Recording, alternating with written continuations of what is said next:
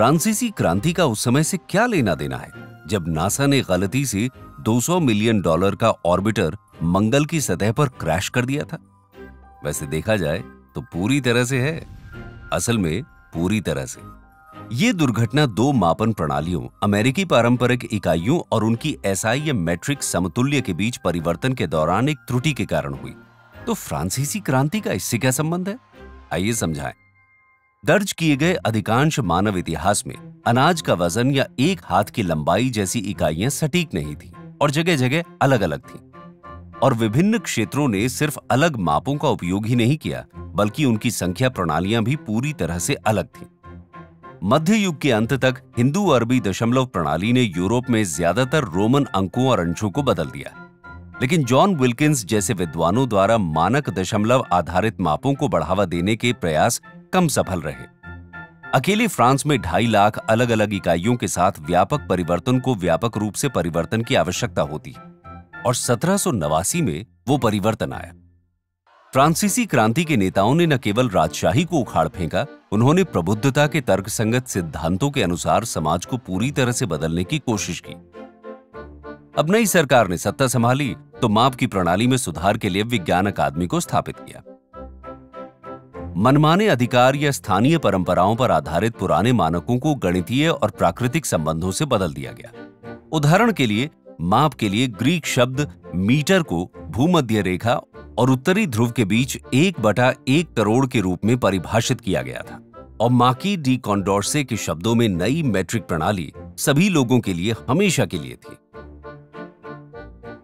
मापन के मानकीकरण से क्रांतिकारियों को भी राजनीतिक लाभ थे।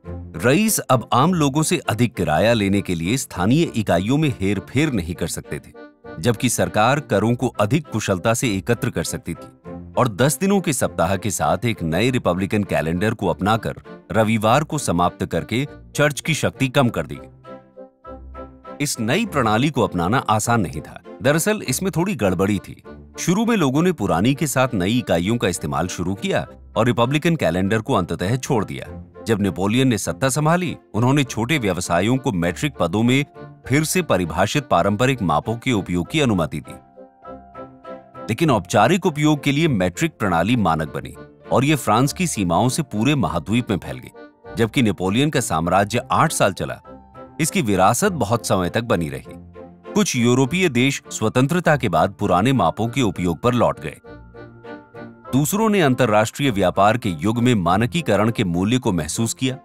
पुर्तगाल और नेदरलैंड्स के स्वेच्छा से मैट्रिक पर स्विच करने के बाद अन्य राष्ट्रों ने इसका अनुसरण किया।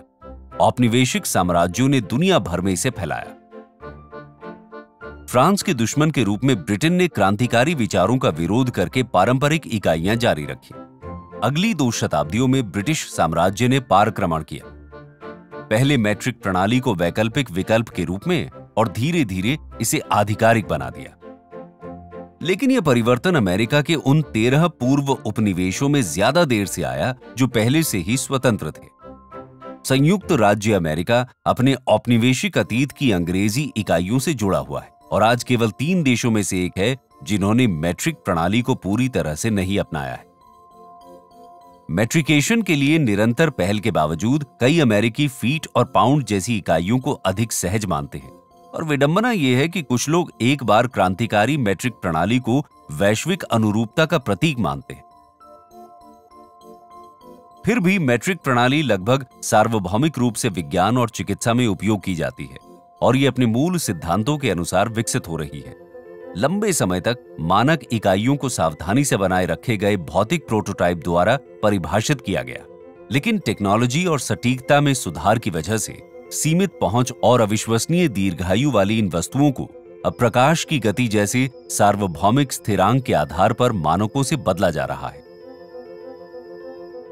संगत माप हमारे दैनिक जीवन का एक ऐसा अभिन्न अंग है कि यह समझना मुश्किल है कि वे मानवता के लिए कितनी बड़ी उपलब्धि रहे और जैसे ये एक राजनीतिक क्रांति से उत्पन्न हुआ, वैसे ही आने वाली वैज्ञानिक क्रांतियों के लिए मैट्रिक प्रणाली महत्वपूर्ण बनी है। माप की बात करें तो क्या आप जानते हैं कि चाँद तक पहुँचने के लिए आपको कागज़ के एक टुकड़े को कितनी बार मोड़ना होगा? इस वीडियो से जाने और हमारे चैनल को सब्सक्राइब करें।